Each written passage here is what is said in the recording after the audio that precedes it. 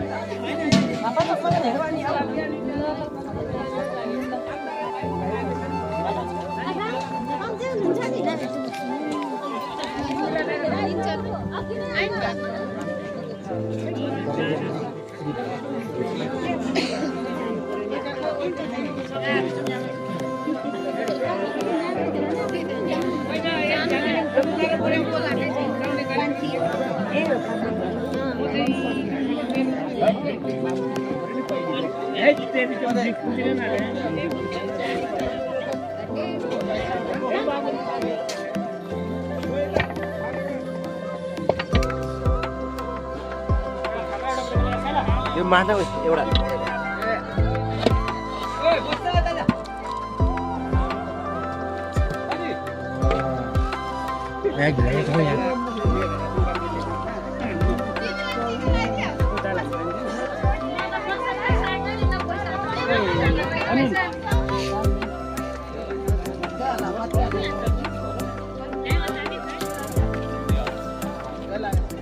咱们必须咱们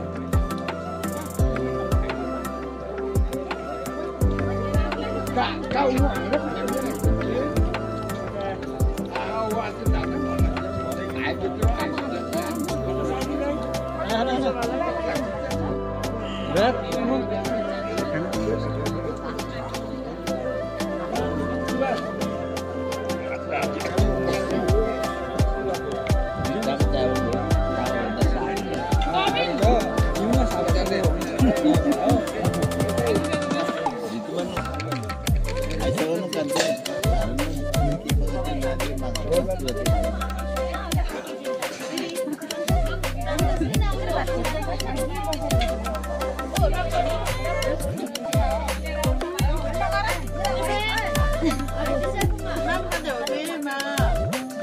それと、テー。